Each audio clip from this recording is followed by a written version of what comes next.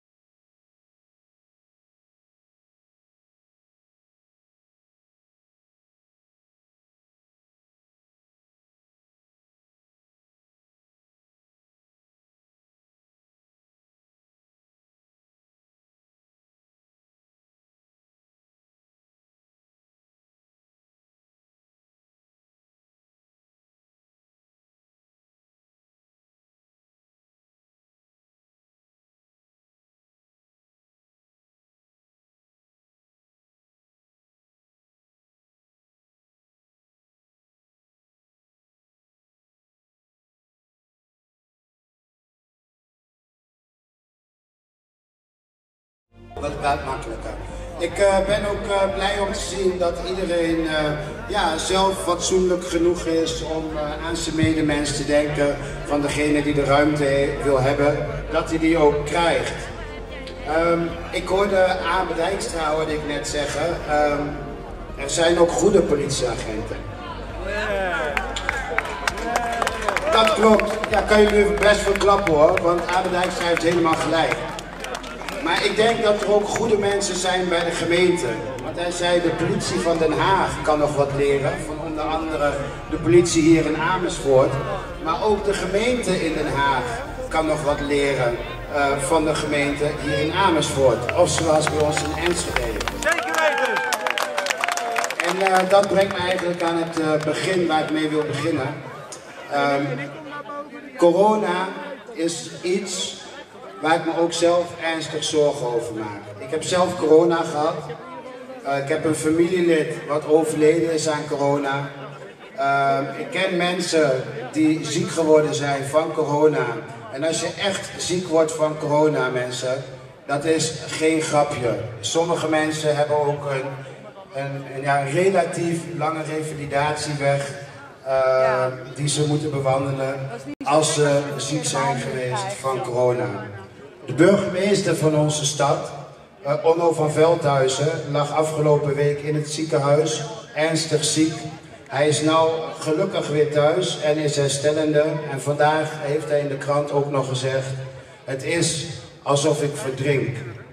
Alsof ik verdronken ben, zo aan het verdrinken was. En uh, ja, ik wil vooral voor alle slachtoffers, voor alle nabestaanden, maar ook uh, mensen die uh, mensen in de familie hebben, in de vriendenkring hebben, uh, die lijden aan corona. Ook zeker aan alle andere aandoeningen, maar ook aan corona in deze tijd. Hun hart onder de riem steken en laten zien dat ik en ik denk een hele hoop mensen met ons de corona absoluut niet verlogenen. Dat we zeker weten dat het er is en dat we hier eigenlijk puur en alleen staan met z'n allen om aan te tonen welk waanzinnig beleid de regering voert. Op grond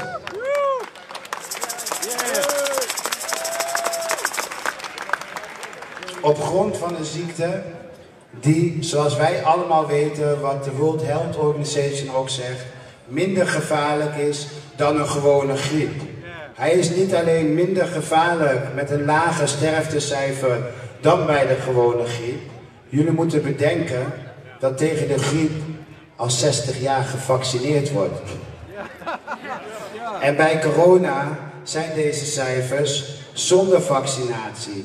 En nog een andere positieve bijwerking uh, van corona vind ik zelf.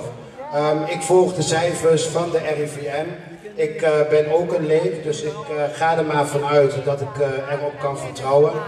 En als ik dan zie dat corona de griep bijna helemaal heeft uitgeschakeld. We hadden maar 400 doden aan de griep. En het aantal doden van corona en griep samen waren minder dan het gemiddelde aantal doden van de griep. Dus ik denk dat het echt iets heeft toegevoegd aan onze samenleving en dat we daar uiteindelijk, als we de cijfers bekijken, wat dat betreft beter van zijn geworden. Ja, en ik denk uh, dat dat wel een applaus waard is. Nou, praat ik altijd over dingen waar ik tegen ben. De spoedwet uh, hebben we natuurlijk net gehad, die binnenkort geïnstalleerd gaat worden. En ik wou vandaag eigenlijk uh, meer iets zeggen ja, over hoop, over liefde.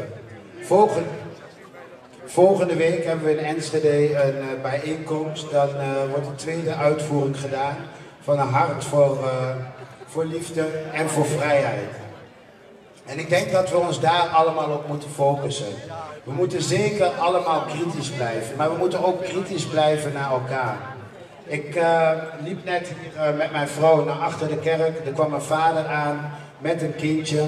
Uh, de rest van de familie, zo bleek later, was nog uh, onderweg. En die kwam er ook aan op fiets. En die vader zegt tegen zijn dochtertje: Die mensen daar zijn allemaal gek. Die mensen zijn gestoord. Kijk maar wat ze doen, hoe dicht ze bij elkaar staan. En dat ze in groepen bij elkaar komen in deze tijd. Ik zeg, meneer, wat zei u? Ja, die mensen zijn daar allemaal gek. Ik zeg, nou, het spijt me, ik ben ook een van die mensen. En uh, ik zeg, ja, uh, we staan daar niet omdat we de corona ontkennen. Maar uh, ja, we staan daar voor elkaar. En op dat moment merkte ik dat het me best zwaar viel om met respect op een gegeven moment terug te antwoorden. En ik denk dat veel mensen onder ons dat kennen. Als je zeg maar jij degene bent die zonder mondkapje op in de winkel loopt en dat mensen je aankijken. Uh, dat je bij de dokter zit misschien zonder mondkapje de wachtkamer binnenkomt. Dat de mensen je aankijken. Dat je opmerkingen krijgt. Uh, we merken dat de samenleving uh, wordt verdeeld in onze families, in onze vriendengroepen. het is een heel belangrijk thema. Maar ik merk ook zelf, ik weet niet of jullie dat herkennen, dat ik ook op een bepaald moment echt moeite kreeg. Als ik uh, in de auto rijd en ik zie daar in één keer een jogger voorbij komen in de middle of nowhere met een mondkapje op. En dan is het heel moeilijk om nog steeds voor jezelf te... En niet anders. En na Wijnand krijgen we nog een spreker. Jessica Damhuis, als zij alvast naar voren wil komen. Jessica is van Vex Nederland, van de Vexbus met Ramon Walters.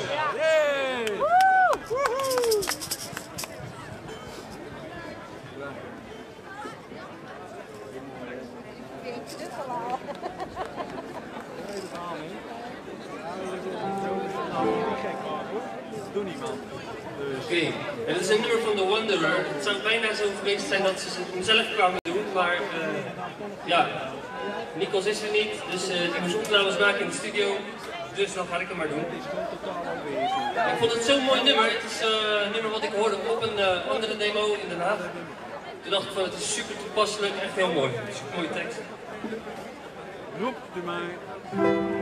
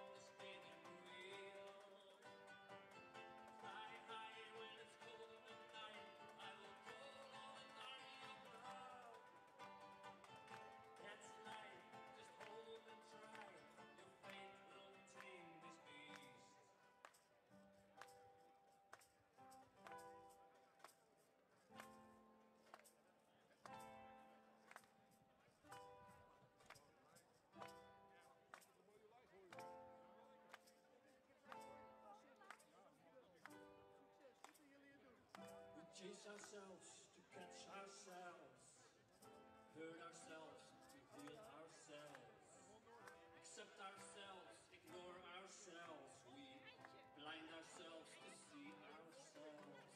Aren't you meant to fly? Sing your song and touch the sky. Aren't you meant to fly? Or do you wanna wait until you die?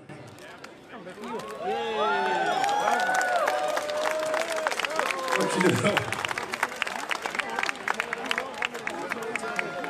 En de eerste keer dat ik het hoorde ben ik ook emotioneel ervan. En het nu weer. Waarom? Gebruiken we het eigenlijk niet. Ik heb de hele tijd met een mondkapje. En nu is een praten met iemand. En stond er alleen met een mondkapje voor.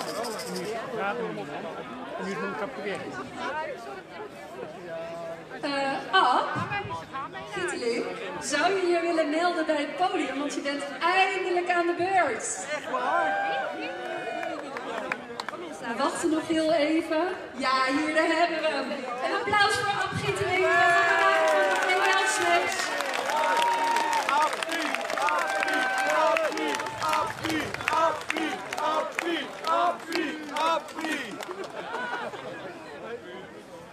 Eh, Ja, dames en heren, het, eh, ik begrijp dat van mij een soort afsluiting verwacht wordt, dus ik hoop dat ik aan de verwachtingen kan voldoen.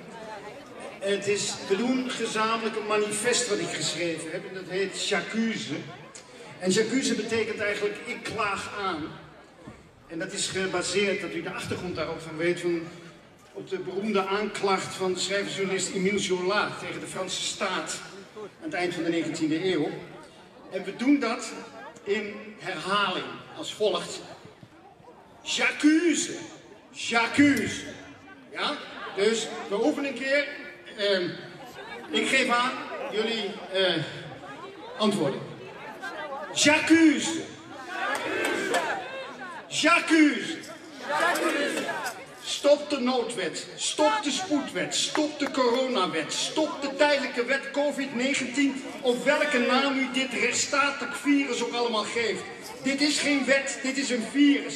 Het besmet het systeem, het vreet zich in in de organen van de maatschappij. Deze irrationele angstepidemie vernietigt onze immuniteit, vernietigt onze economie, vernietigt onze rechtsstaat vernietigt ons op psychologisch welzijn en ons onderling vertrouwen. J'accuse! Stop de anderhalve meter waanzin. Het is een volstrekte absurditeit. Het is nooit eerder in de geschiedenis vertoond dat het volk strafbaar is, omdat we ons minder dan anderhalve meter van elkaar bevinden. Als wij besmettelijkheid vrezen, houden wij afstand van de ander. Daar hebben we de overheid niet voor nodig. J'accuse! J'accuse! Stop de mondkapjes, waarbij de virusuitwaseming aan alle kanten aan de melkkorf ontsnapt. Het werkt niet en al helemaal niet in de buitenlucht. Stop al die bezweringsrituelen. Het is enkel symbolisch. Stop onze jongeren en studenten tot asociaal en onverantwoordelijk te maken, te verklaren omdat hun besmettingen, hun besmettingen helpen ons juist in de opbouw van collectieve immuniteit. J'accuse! Stop het dogmatisch geloof in de grote druppels. Maak eindelijk de paradigmawisseling naar de aerosolen. Als u echt de besmettingsgraad omlaag wilt, overdracht van het virus vindt bijna uitsluitend plaats in geventileerde en geioniseerde ruimte. Start dan een deltaplan, ventilatie en ionisatie van die binnenruimte. J'accuse! Stop de fixatie op vaccinatie als de heilige graal. Er worden in vele landen werkzame medicijnen toegepast. Legitimeer ze. Laat de medici hun werk doen en de bevolking haar eigen verantwoordelijkheid nemen. J'accuse! Stop de waanzin van de scholensluiting. Stop de restricties aan onze kinderen om niet meer te mogen spelen binnen anderhalve meter van de ander. Stop die bij wet bepaalde kindermishandeling. J'accuse! Stop de dreiging van verplicht testen. Volstrekt overbodige paranoia. En als iemand ziek is, geef hem de keuze voor medicijnen. Mensen die ziek zijn zonderen zichzelf al af. Daar hebben we de overheid niet voor nodig. Stop met de coronapaniek te zaaien middels de tweede golf. Stop met de dreiging van verplichte quarantaine. Stop het kleuren van de landen in oranje, rood en geel en de dagelijkse dreiging van opsluiting. Prettige reisraad en nu tien dagen opsluiting in de GGD-faciliteit. J'accuse! Stop de terreur op de terrassen, cafés en horecagelegenheden van track and trace met onze naam en onze nummers en onder de bedreiging van tien dagen quarantaine. Allemaal over burgers die niets hebben. Stop die sociaal-fascistische wet en stop die tunnelvisie en u.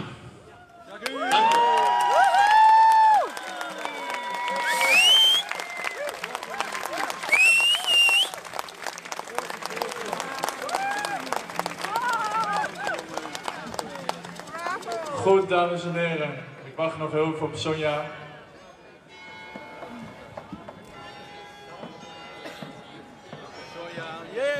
Wij vonden het een hele mooie dag. Ik hoop dat jullie dat ook vonden.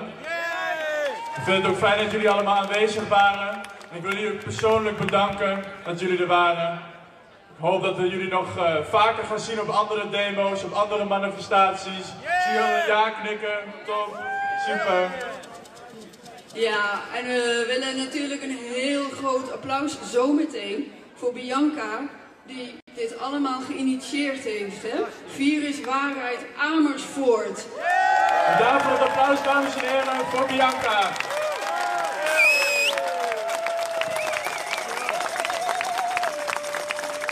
Maar dit heb ik natuurlijk niet in mijn eentje gedaan. Dit eh, heb ik met Sonja Verwijs gedaan. En natuurlijk ook met Duncan, maar ook met een heel team van geluid, podium. Nou, wat hadden we nog meer, Sonja?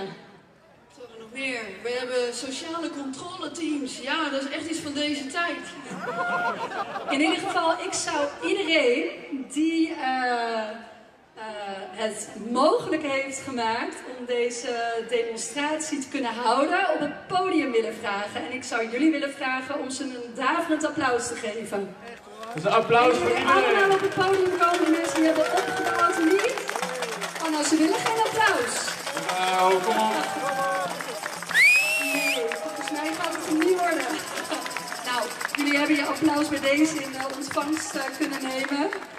Ehm, even kijken. Ja, wat gaan we nog... eh, nou, dit was het, hè. Dit is gewoon het einde van de demonstratie. En ehm, we gaan nog een heel bijzonder lied draaien. Het is een lied en eh, het gaat over 15 miljoen mensen. Maar ja, we hebben natuurlijk inmiddels 17 miljoen mensen. Maar ik hoorde dat lied weer eens terug. En ik dacht, dit gaat nog steeds over Nederland. En hoe Nederland hoort te zijn. Hoe Nederland was en hoe we het graag weer zien. En, ik zou zeggen, luister er nog maar eens even naar. Ik kan jullie natuurlijk eh niet verbieden om te zingen. Hè? Maar ik zou het wel eh, doen. en ik ga het ook niet doen dus. Eh, maar bedankt voor jullie komst. Ik vond het geweldig dat jullie er waren. En eh, tot gauw allemaal. Wel thuis. Dankjewel. Vasthouden. Vasthouden. De stang. Niet meedraaien.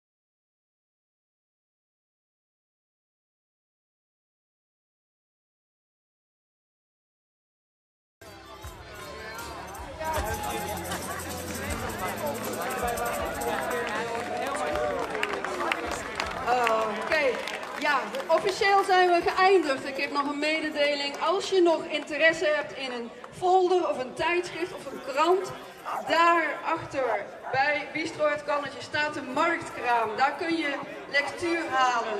Doe dat vooral. Neem een voorraadje mee om ook te verspreiden. Dan zijn we heel dankbaar en uh, we zien jullie graag volgende keer terug. Uh, nog een mededeling op 21 november, zaterdag, dat is een zaterdag. Dan maken we een groot hart op het Malieveld. Een groot menselijk hart op het Malieveld. Dus noteer in je agenda. Zaterdag 21 november. Hoi. Wat zeg je? Nou, ik was een voor Ja, Duncan, vertel. Goed, um, nou ja, ter afsluiting. Ik wil graag even wat vrienden van mij op het podium roepen, wat jongeren. Kom eraan, kom. Je bent toch niet goed bij je hoofd als je je rechten Een applaus. Je bent toch niet goed bij je hoofd als je de democratie op je rechten gaat begraven? Zo zien we het uh, Oké. Nee, maar Want uh, deze over demo het statement van de heb ik een klein beetje aan meegeholpen te organiseren. Dan geef je toch in feite Maar vond ik nog niet genoeg. En deze jongeren met mij vonden dat ook nog niet genoeg. Want wij gaan zelf een jongeren demonstratie organiseren. op het moment dat jij goed toegeeft. Deze tongens gaan er allemaal meehelpen. Ik wil je daar heel erg voor bedanken. En het gaat 29 oktober, zoals het er nu uitziet. 29 oktober. 29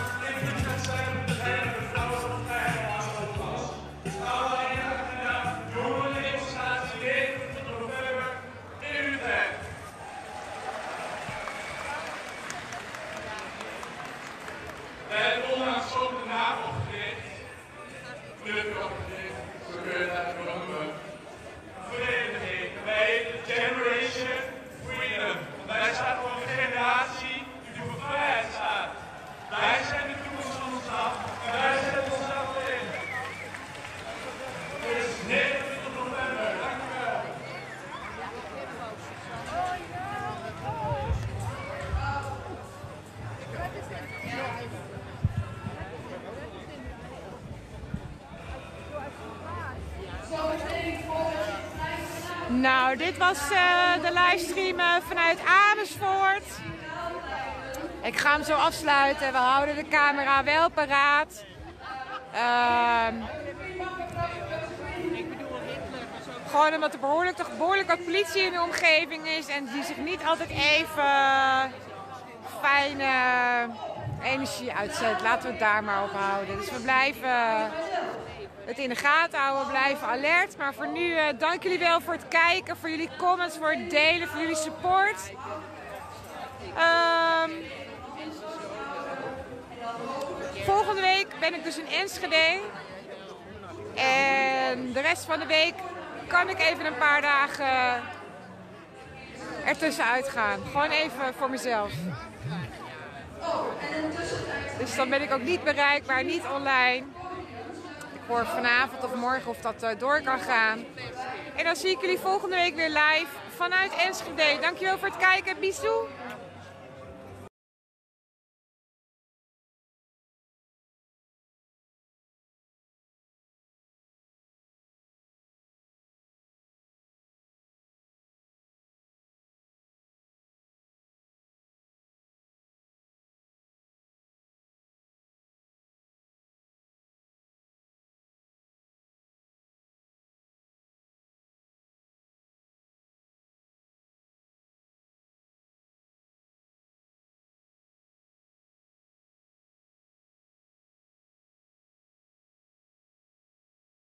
Wil doen, sluit je dan langzaam aan. Als hij bij je komt, sluit je dan achteraan. We gaan steeds verder naar binnen, tot het midden. Als het lukt, gaan we vanuit het midden weer terug naar buiten. En dan eindigen we in een hele grote cirkel. Nou was het zo dat we natuurlijk dat zouden doen in verbinding, maar dat mag niet. Dus blijf heel goed achter elkaar lopen. Als het goed is gaan we dat op muziek doen. Dus ik hoop dat dadelijk de muziek begint.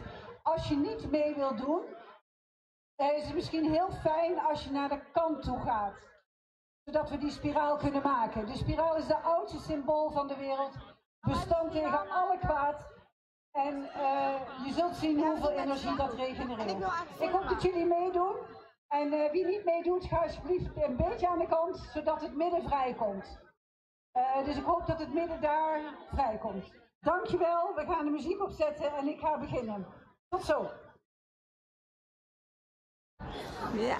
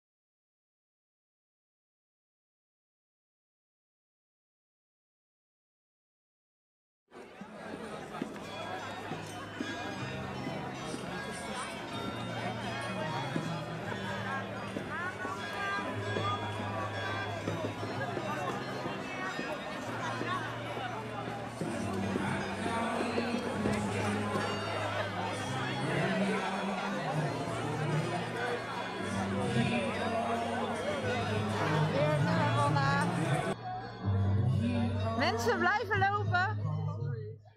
Heaven's voice is Aren't you meant to play? Sing Nee, ze gaat, ze gaat podium op. Oh. Do until you die? Nou, volgens mij gaat het niet helemaal goed met eh, de cirkelspiraal, eh, uh, maar uh, ja, hey. hebben we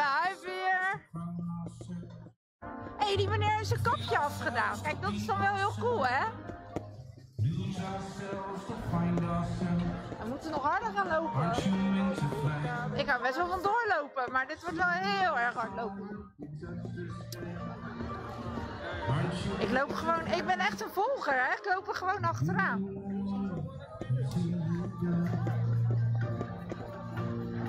Hey Alwin, sluit nou even aan, ga even meelopen. Doe nou even niet aan de lucht. Ja. Nou. En jullie moeten aansluiten, aansluiten, aansluiten. Aansluiten. Ja, je deed goed, hè? Mooi.